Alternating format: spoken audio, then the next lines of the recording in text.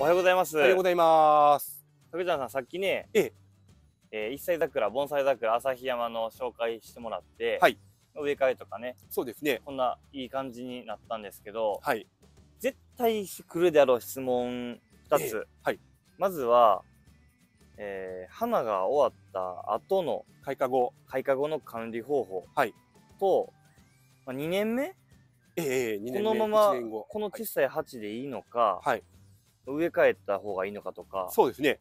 とか10円にした方がいいのか10円にしたらあの大きい、ええあの一般普通の人がイメージしてる桜1大きいやつメートル2ですね。メートルの桜になるのかとかそこら辺ちょっと詳細教えてください。はいえーっとですね、あの、今から、まあ、冬越しして、4月の終わりぐらいにもこれが花が咲いてきます。はいで、花はまああの、5月の中旬までのところで終わります。はいで、そこから、はい、えー花の後にその、よく言われる葉桜に変わります。はいで、それが伸びてくるのが5月の中旬ぐらいからずーっとその8月も超えて伸び始めるんですよ。はいで、その長さが結構長くって、1年でもうこれぐらいになってくるんですね。はいで、あの、もしかして、その肥料、今はい回やってません。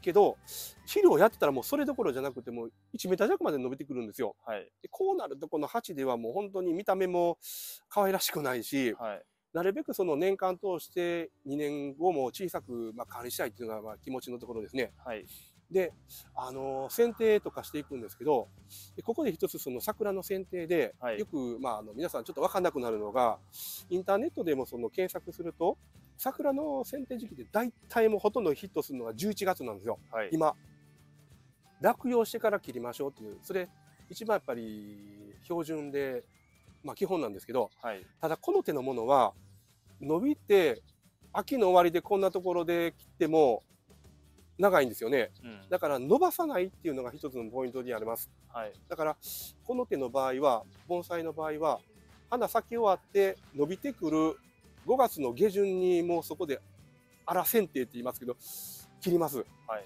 3節ほど残してはい切っておくんですよ。はいそうするとまあこれぐらいのところで止まります1回。はいで5月の下旬に切ったらだいたいその7月ぐらいにもこの範囲でつぼみの元が作られちゃうんですね。うんだから来年この辺で咲きます。ちょっと一回り大きくなりますけど、そういう風なちょっと変わった剪定でやっていただくのが一番いいですね。だから5月頃の剪定？そうです。5月咲いて伸び出した。で、3節、4節、5節出てきた。で、3節で6月ぐらいですか6月よりちょっと早いですね。5, 5月地域によっては、はい。5月頃に剪定をすると5月の終わりぐらいっていうイメージですね。そうするとまた同じようにちょっと一回り大きくなるけど盆栽桜として楽しめますよと、2年目はこの鉢でまだ大丈夫ですね。ですねはいもしかしたらちょっと一回り大きくしてもいいかもしれないそうですね。まあ、これよりちょっと一回り大きくしてっていうのも一つの手です。で落葉した11月に剪定しちゃうと、はい完全に一回りどころか大きくなっちゃうってことですよねそうですね。それは大体その庭木とか、あの大きな鉢植えの場合のその剪定方法で覚った方がいいかなと思いますね。わかりましたこれ肥料は絶対あげないんですねやらない方がいいんですよ。もう一年で中ずっとまあ、液肥開花前にちょっとやってもいいかなっていうもうぐらいです。あげなくてもいいもう。いいです。あげなくて枯れないことは、ないですね。ああないんですね。あの怖いのは肥料やりますでしょ。枝が伸びる。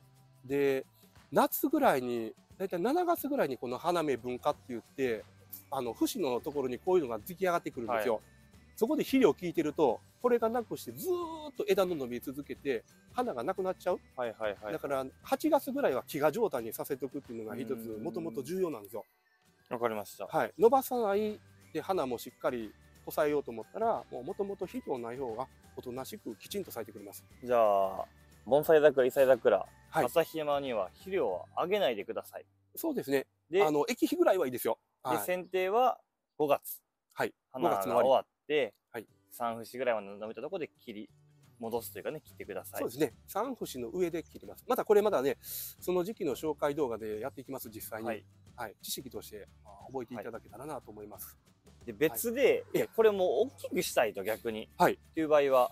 これは、植え替え時期はね、あのーやっぱりその落葉期、今がいいんですけど、根っこを切らなければ、スポッと抜いて地面の、場所、大きな鉢に植えていただくのは、夏以外でしたらできてもいいですね。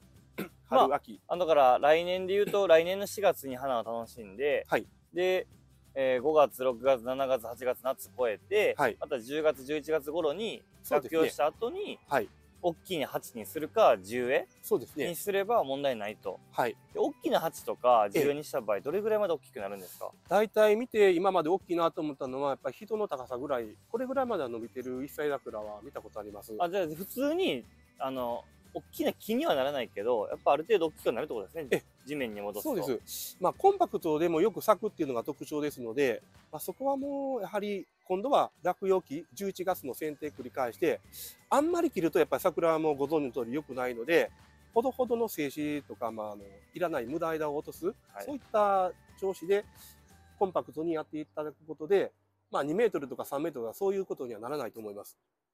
地面に植えたりとか、はい。いえー鉢に大きな鉢を植え替えた場合は肥料をあげていいや、それもやらない方がいいですね、極やるのがいい力。基本的に桜をあげたらダメなんですねええ、やらない方がいいです。その、やると大きくなるだけなんですよ。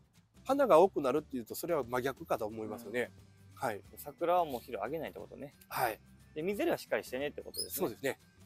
わかりました、そういったところですかね。楽しみですねじゃあ花咲くのはい。管理は本当に水切れだけ。それはもうちょっとね、あの、守っていただいて、肥料はいらない。で、剪定時期は、またやりながら、その春にご紹介動画やっていきたいと思いますので、はいはい。これ旭山はジョー店長のはい。おすすめなんでねえ、そうですね。これやってほしいって言ってたんで、ちょオンっと急ラインショップ遽。でぜひ、はいよかったら購入してくださいはい。よろしくお願いします。はいありがとうございましたありがとうございました。